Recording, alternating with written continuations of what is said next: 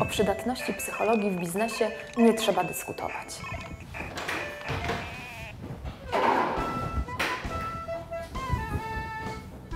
Jest ona niezbędna podczas podejmowania trudnych decyzji, negocjacji czy rozwiązywania konfliktów. Sprawdźmy, co na ten temat mają do powiedzenia dzisiejsi bohaterowie programu.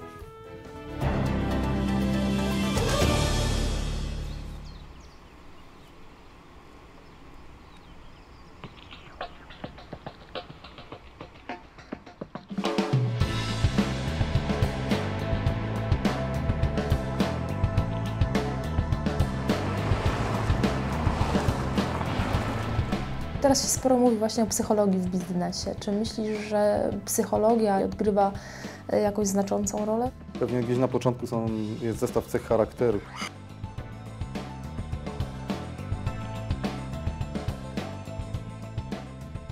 które predysponują daną osobę do tego, e, żeby czy to odniósł sukces w biznesie, w biznesie, czy po prostu dobrze się czuł e, w prowadzeniu firmy. Mi taka forma pracy bardzo odpowiada, czyli branie odpowiedzialności za, za swoje decyzje, trochę ryzykowanie, podejmowanie decyzji, e, które się wiążą nie tylko z moim losem, ale również pracowników.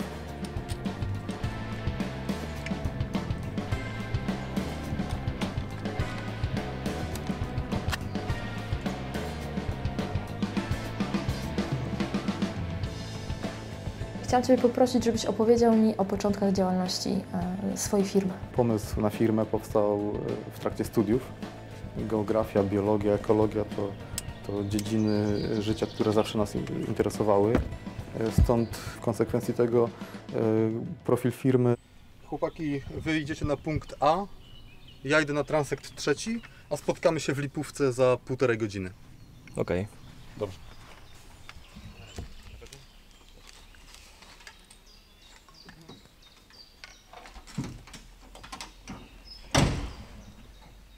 Firma związana jest z konsultingiem środowiskowym. Prowadzimy działalność doradczą ściśle nakierowaną na problemy ochrony środowiska. Przychodzi klient, który chce zrealizować przedsięwzięcie budowlane, inżynieryjne e, i aby zrealizować każdą budowę, uzyskać pozwolenie na budowę, należy uzyskać decyzję środowiskową. E, Ta decyzja jest uwieńczeniem jak gdyby procesu, którym jest ocena oddziaływania na środowisko. I y, my jesteśmy tymi ludźmi, którzy mają jako specjaliści określić, y, jak budowa tego odcinka drogi będzie oddziaływała na najbliższe rezerwaty, na świat zwierząt, roślin. Spędzamy wiele czasu na wyborze optymalnego mm, rozwiązania. To bywa trudne. Czasami możemy y, tutaj zrazić do siebie inwestorów. Z drugiej strony zdajemy sobie sprawę, że odpowiadamy również za, za przyszłe pokolenia. Powiedz mi, a jaka była rola y, inkubatora? Na czym polegała pomoc z ich strony y, w rozwoju Twojej firmy? Bardzo dobrze wspominam tą początkową pomoc inkubatora. Szereg szkoleń, które inkubator e, prowadził dla młodych przedsiębiorców, dla rozpoczynających e, przygodę e, z biznesem, pozwolił mi uporządkować sobie pewne mm, zagadnienia, o których nie miałem wcześniej żadnego pojęcia. Kolejna pomoc to promocja. Inkubator pomagał pokazywać firmy na zewnątrz. To, to była bardzo duża pomoc.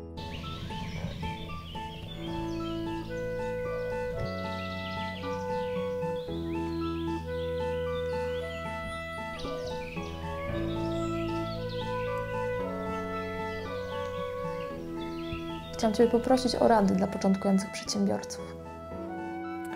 Nie zrażać się tymi trudnościami, które są na początku. Przypuszczam, że kilka siwych włosów na mojej głowie to jest właśnie efekt prowadzenia firmy. Czasami miałem nieprzespane noce związane z różnymi obowiązkami, terminami, które nas goniły.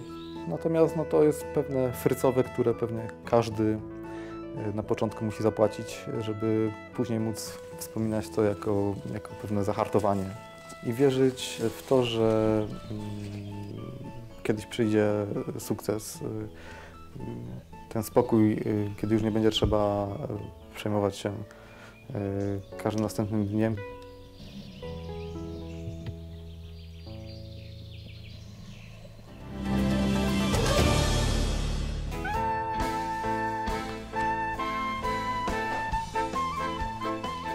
Posłuchajmy, co o znaczeniu psychologii w biznesie mają do powiedzenia specjaliści.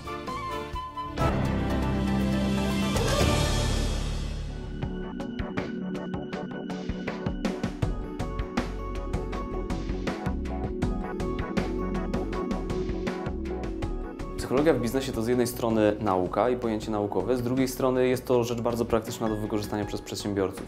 E, cała idea psychologii w biznesie powstała, kiedy Peter Drucker stwierdził, że zarządzanie to nie tylko zarządzanie technologią, przemysłem, ale także zarządzanie ludźmi, czyli, czyli e, zastosowanie tak naprawdę narzędzi psychologicznych, tych, które zawsze były stosowane do ludzi, do ludzi, którzy się zajmują biznesem. Tak?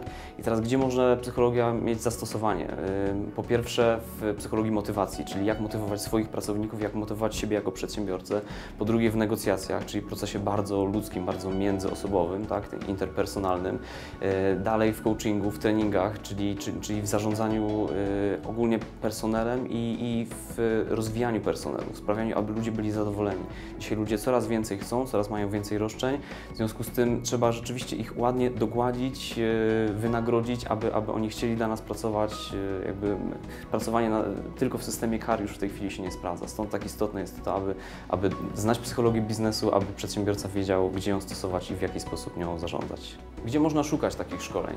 Przede wszystkim źródłem obecnie niezbędnym jest internet, natomiast należy pamiętać, że strony internetowe firm często wyglądają ładnie, natomiast sami trenerzy niekoniecznie prowadzą dobre, skuteczne, praktyczne szkolenia. Dlatego tu warto zawsze się odwołać do jakichś rekomendacji. Można również zajrzeć na listę y, firm szkoleniowych y, w Polskiej Izbie Szkoleniowej, która prowadzi taką listę.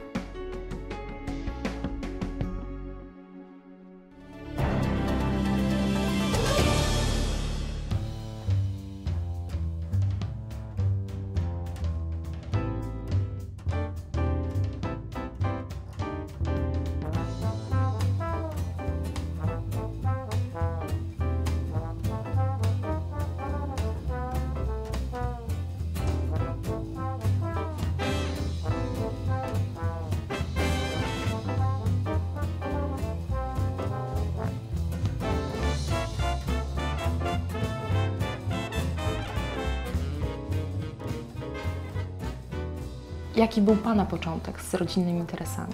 Jak to z Pana strony y, wyglądało?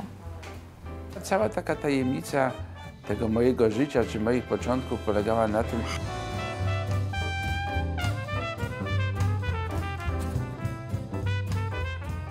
że ojciec w taki bardzo mądry sposób tak zastawił na mnie sieci i wciągnął mnie do tej, do tej y, firmy. Cały czas u nas w domu mówiło się firma, firma, że to jest wielka wartość, że tradycja, że przed wojną, że najlepszy sklep w mieście i tak dalej. I tak podświadomie zacząłem gdzieś tym żyć. Y, druga rzecz, y, ojciec dosyć krótko mnie trzymał i no nie dostałem za wiele pieniędzy, a człowiek zaczął dorastać, pierwsze dziewczyny, pierwsze piwo i tak dalej. No i powiedział wyraźnie, tam jest warsztat, tam możesz zarabiać pieniądze będąc jeszcze chyba w dziewiątej klasie, bo za naszych czasów tak się mówiło, czyli w drugiej licealnej, zostałem zarejestrowany jako uczeń złotniczy. Rzeczywiście zacząłem na parę godzin dziennie czy parę godzin w tygodniu do warsztatu chodzić i uczyć się y, złotnictwa. Jak rozpocząłem tą naukę y, i uczyłem się już robić pierścionki, broszki i tak dalej srebrne, to bardzo szybko zorientowałem się, że niewiele zarobię. Z racji braku doświadczenia, z braku umiejętności produkowałem, już nie powiem, że trzy razy gorzej, ale jeszcze trzy razy wolniej.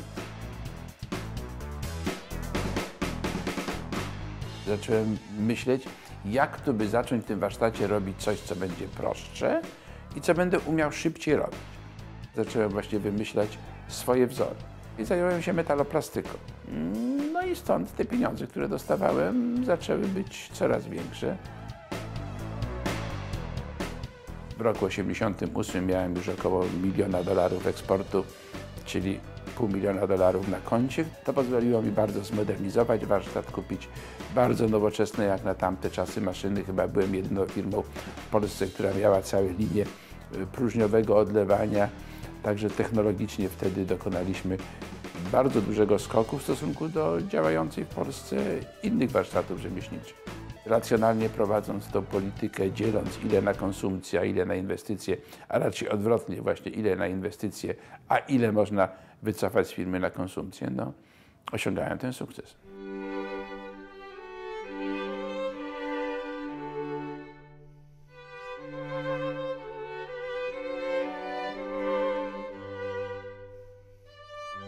Czy znajomość psychologii, zachowań ludzkich jest przydatna w biznesie? Ja sądzę, że ogromnie. We wszelkiej działalności usługo- usługowej, wszelkiej działalności, gdzie jest się skazanym na wielu, wielu klientów, którzy albo te pieniądze nam przyniosą za wykonaną usługę czy za jakiś produkt, no to to jest niesłychanie, niesłychanie istotne. Bo to się rozpoczyna, wie Pani, od rozmów z dostawcą.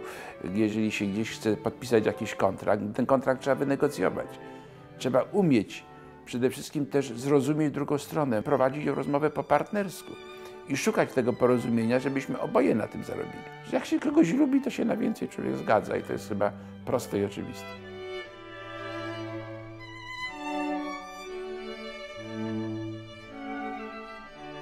Chciałam zapytać o, poprosić o jakieś rady dla początkujących przedsiębiorców. Robić coś trzeba z pasją, robić trzeba coś z pełnym przekonaniem. Na zachodzie jest to powiedzenie keep smiling, a Polak chodzi obrażony ze smutną miną i cierpi, że pracuje.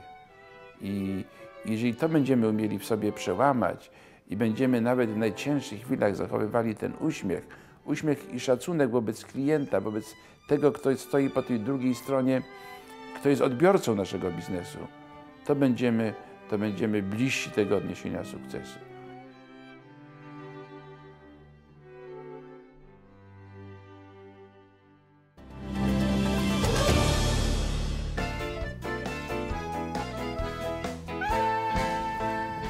Początkiem sukcesu każdej firmy jest w dużym stopniu przezwyciężanie własnych słabości.